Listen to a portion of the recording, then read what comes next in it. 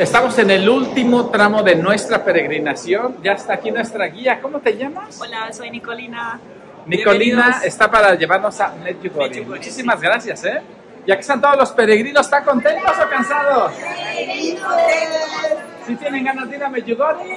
Sí. Bueno, acompáñenos, nos vemos al ratito. Paz, paz, paz. Es el mensaje de la Virgen María que nos deja en este lugar tan increíble y lleno de fe en donde me encuentro.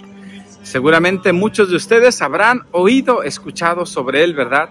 Es un lugar que todavía está siendo eh, sometido a aprobación por la Iglesia Católica, ¿verdad? Pero es un lugar que, como dice el Papa, ha generado muchísimas conversiones y pues el mensaje de Madre María es bellísimo, sobre todo porque es totalmente cristocéntrico.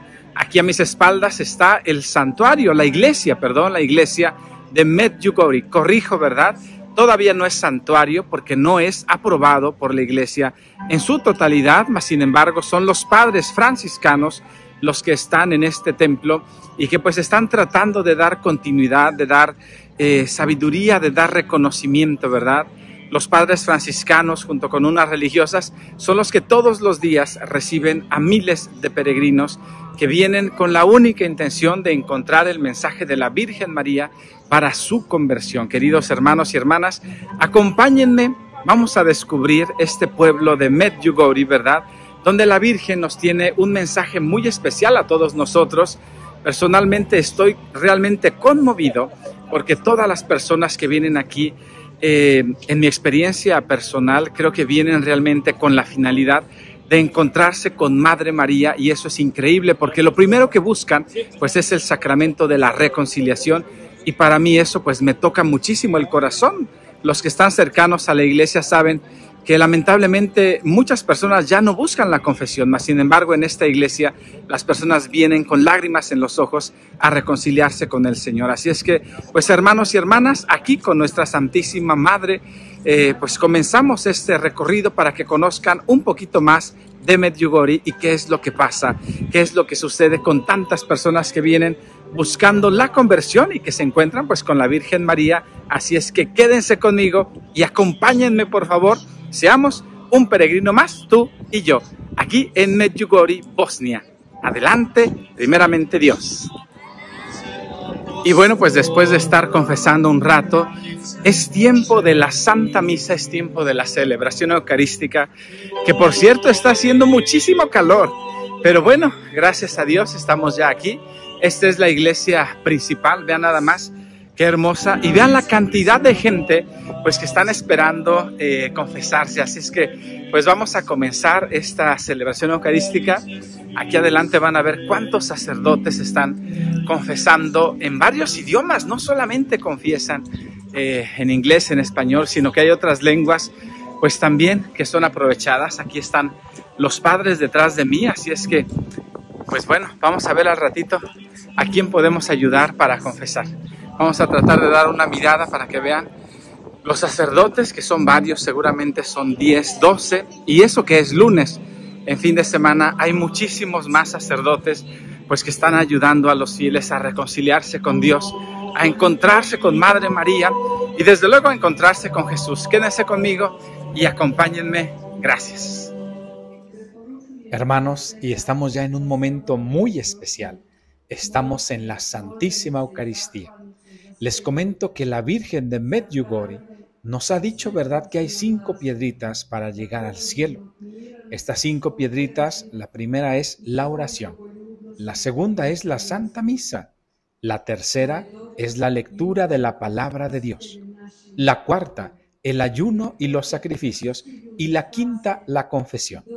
Pues bien, es increíble que en este santuario todos los días en la tarde se celebra la Santa Misa y estoy realmente conmovido e impresionado porque aquí estoy con los sacerdotes que somos 137, ¿verdad?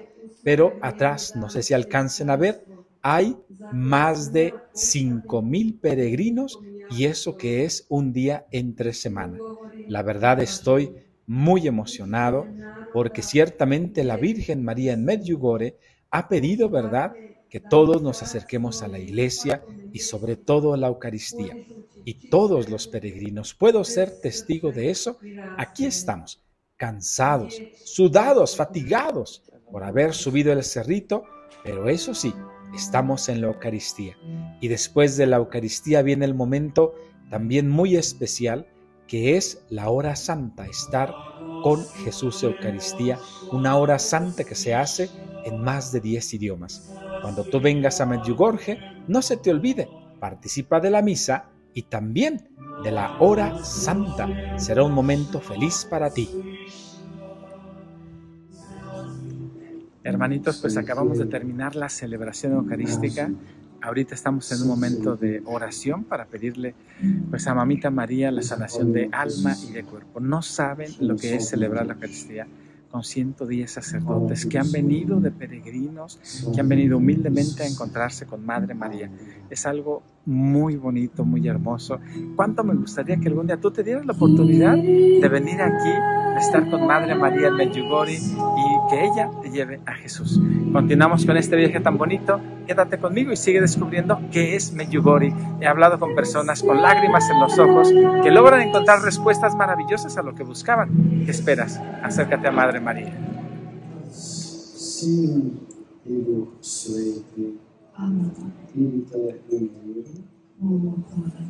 Nastavljamo sada moleći slavna otajstva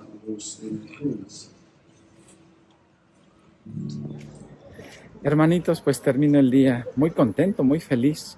Después de la celebración he estado confesando por algunas horas desde aquí, desde la iglesia del Santiago Apóstol en Medjugorje. Me despido solamente pidiéndoles que recen un Ave María por mí y yo con gusto rezaré a Madre María aquí en Medjugorje por ustedes. Si tienes alguna intención especial, déjamela saber en los comentarios. Y que Dios te bendiga y que te conceda mucha fortaleza, pero sobre todo que te conceda recibir el abrazo de Madre María que recibí yo hoy, hoy y que tú también lo tengas en tu vida y en tu corazón. Ahora les quiero compartir algo de de veras muy especial. Aquí en Medjugorje es una antiguísima tradición que se reza el Via Crucis. Es más o menos un kilómetro de distancia. Todos aquellos que tienen problemas, que tienen dificultades, que quisieran la ayuda del cielo, rezan este Via Crucis, ¿verdad? Y al final del Via Crucis, pues obviamente la última estación, la resurrección, porque creemos en un Cristo vivo, se encuentra justamente el Cristo resucitado. Y este Cristo, aquí en Medjugorje, él es, eh, ¿cómo lo podría decir? Es un Cristo muy bello porque ayuda muchísimo a las personas. A todos aquellos que rezan el Via Crucis y que lo hacen con fe reciben grandes milagros de sanación. Y las personas tienen la costumbre, la devoción, de eh, en unos pañuelitos tocar la rodilla del Cristo al final del Via Crucis, que muchos hacen de rodillas, ¿verdad? Y esos pañuelitos los llevan después a sus países, a sus casas, para ver a los enfermos. Les voy a mostrar a Cristo de la resurrección, pero hay muchas personas haciendo oración y eso que ya pasa de la medianoche. Por eso voy a guardar silencio para que solamente tú puedas contemplar y yo. Y mientras estamos en silencio, vamos a rezar un Padre nuestro. Aquí les muestro al Cristo de la resurrección. Ahora en silencio vamos a ver. Las personas están haciendo fila para tocar la rodilla del Cristo de la resurrección. Aquellos que tienen fe reciben el milagro de recibir una gotita de agua que sale de la rodilla de este Cristo. La fila es de más de 100 metros. Hay personas que tardan hasta dos horas para poder tocar las rodillas de este Cristo de la resurrección. Muchos de ellos reciben la sanación, muchos reciben esta agua bendita. No sé si alcanzaban a sentir lo especial que es terminar este Via Crucis en el Cristo de la resurrección. Ese Padre nuestro que rezamos es por tu familia, por la mía, para que Jesús nos regale la sanación del alma y del cuerpo. Y bueno, pues te dejo, me toca ya irme a descansar, pasan de la medianoche, y bueno, pues en el nombre sea de Dios, que tengan todos un día maravilloso. Qué bueno es darte gracias, Señor. Especialmente yo le quiero dar gracias por todos ustedes que siempre escuchan los evangelios y mis videos.